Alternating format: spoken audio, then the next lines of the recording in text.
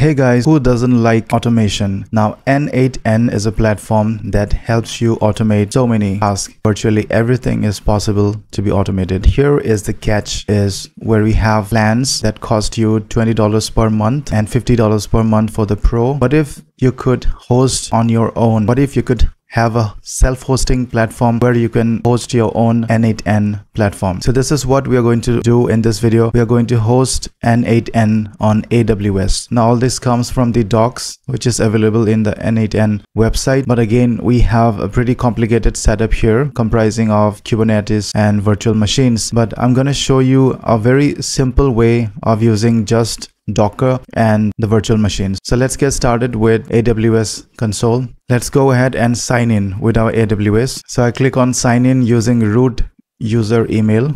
So I'm a root user. Let me go ahead and sign up.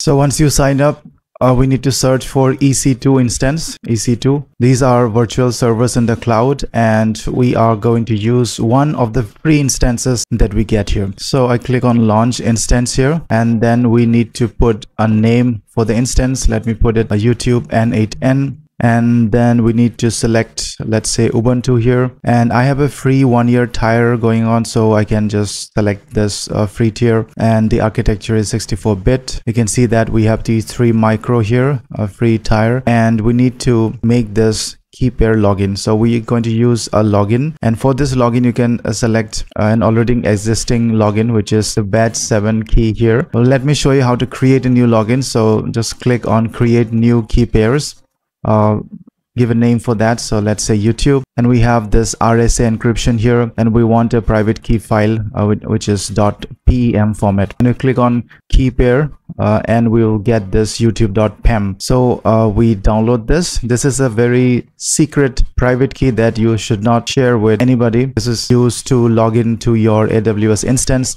connect to the EC2 instance and that is so. So I click on uh, allow SSH traffic from anywhere. I can allow SSH traffic from the internet. I can allow HTTP traffic from the internet here.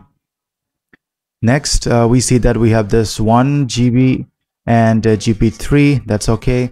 Uh, all I need to do right now is I can click on launch instance and this is going to create an instance, an EC2 instance, a free EC2 instance uh, that we will be using to host our N8N servers here. So I click on the instance. Then I need to add a custom TCP rule uh, because our N8N runs on a particular port of TCP.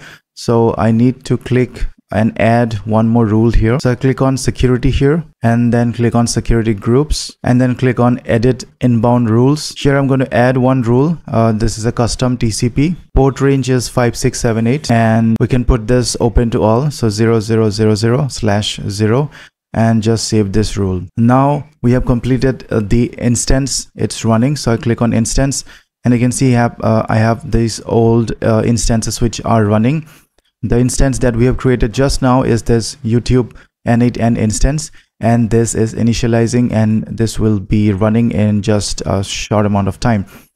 But right now uh, let's go ahead and uh, set up the N8N. So if you remember we have downloaded the youtube.pem that's a private key so we should not share uh, this private key with anyone. This is a private key that's, that will be used uh, to connect with the AWS instance. Also, we need a Linux system to use. So I'm using a Windows system for Linux here. WSL, I click on WSL and this will start up my WSL instance here or Linux instance. So basically you can see the list of files that I have. So ls, so these are different folders that I have. I'm going to create a new folder. Let's say make directory 10 and YouTube. So this is my new directory. I go inside, uh, make, I go inside 10 uh, and uh, YouTube. So change directory. So I'm inside YouTube now. So this is where I need to put this secret password that we have. So dot .pem, I copy this dot .pem and then I go to this Linux system, I go to Ubuntu, I go to home, I go to prompt,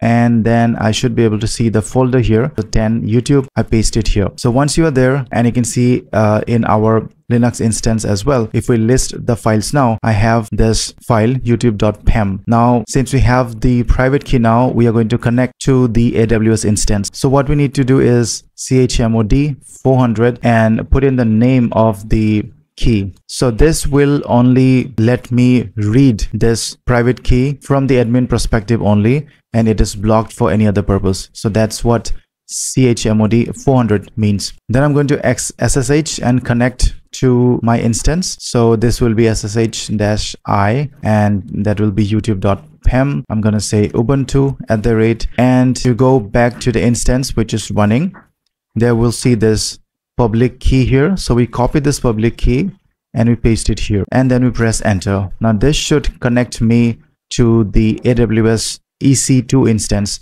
So I say yes and click on enter.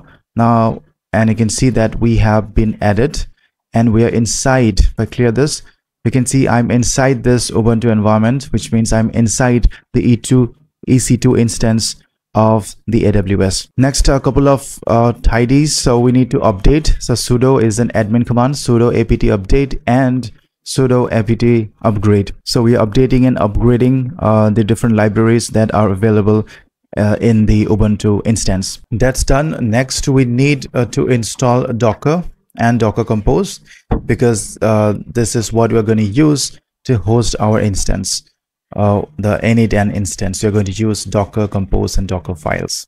Next, uh, we're going to enable Docker and next we're going to run this command. Then we need to exit once and then again connect to the Ubuntu instance. So this is our Ubuntu instance running. We have installed everything. We refreshed the libraries. We have installed all the necessary requirements. Then we're going to make a directory known as n8n and your cd inside the n8n. So we have this n8n. We're going to create a new file known as uh, docker compose.yml and inside that uh, we need to paste this version 3 services is n8n the image is n8n.io slash n8n. So this is the actual Docker image which is available on Docker Hub. So we are going to pull this image. We're going to enable these ports 5678 from the container to the host. And uh, this is the environment. So n8n secure cookies false. So once you do that, we need to say control O, enter, and control X.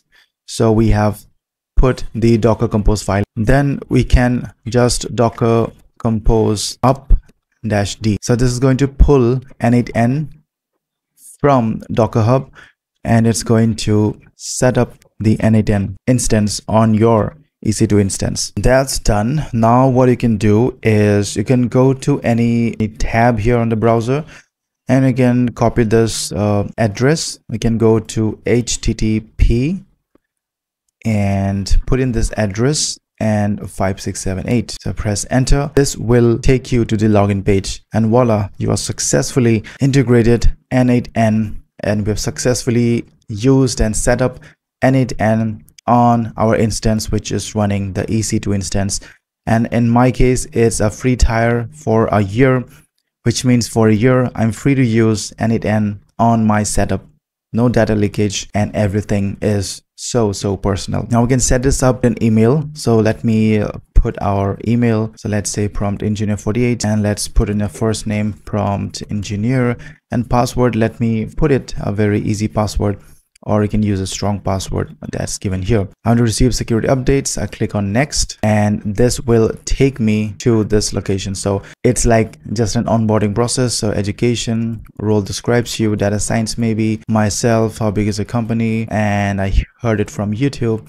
Let's get started and get paid features for free forever. So you can ask for a free license key and you can put in the license key and you can use this some of the paid features of uh, n8n for free. So what you can do is that i have already asked to send it to my mail. If i go to my mail i should be able to see uh, the secret key will be available in my mail in just a second. But now let's try this out. So let's start from scratch and try if this really works. So let's go to the first step. The first step would be click here and let's say uh, trigger manually. Okay. Okay and just click here plus AI and AI agent maybe. And this is our agent. So I can remove this. So when chat message is received uh, our AI agent will give out a reply. So the chat model we can use uh, different models uh, that we have here. But for now let's go and use the OpenRouter's uh, chat model. And here we need to put our API keys. Uh, so we need to connect with the new credentials. You can go to OpenRouter open router API keys and you can go to OpenRouter here take an API key. So I click on login here and then I go to API keys here create a new API key give it some name and click on create. So this is my API key. I'll go back to the workflow click on credentials create new credentials paste in the key and click on save.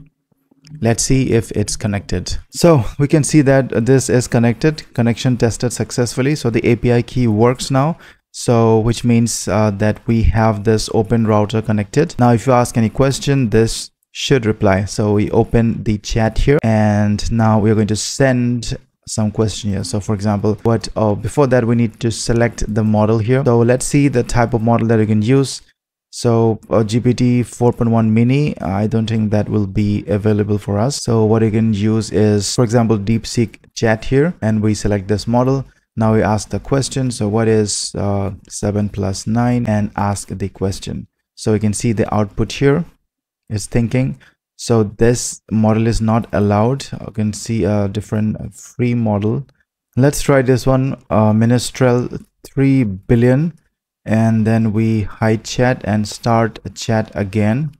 So i say what is 7 plus 9 and we look at the output here expecting something so the sum of 7 plus 9 is 16 so we can now set up complicated and your personal workflows on n8n you can save this n8n this workflow and you can rename this workflow for example let's say youtube one. So we can rename this and this will always work because the instance is running on AWS and we have set up the n8n server on AWS EC2 instance and in my case it's going to work for free for a year. How great is that? Now if you want to learn more about Gemma 3 you can check out this video. If you want to learn about how to use Gemini CLI you can check out this video. And lastly I would like to thank the sponsor of this video klap.app using which you can create so many short videos from your long form content. Now if you are a youtuber was trying to make short videos from the long videos this is a must-have tool. I'll paste in the link in the description. You can go through the link and get a login for klap.ai as you can see i have different shorts videos. Gives the virality score. You can go ahead and download the hd quality. You can do the editing as well. There are different presets that are available here. Position of the subtitles and you can do all sorts of changes here. But mostly you don't need to touch the settings because it's so fine-tuned and the outputs are amazing. I use this tool a lot and it would be great if you give it a try. So i'll see you in another video. Have a nice day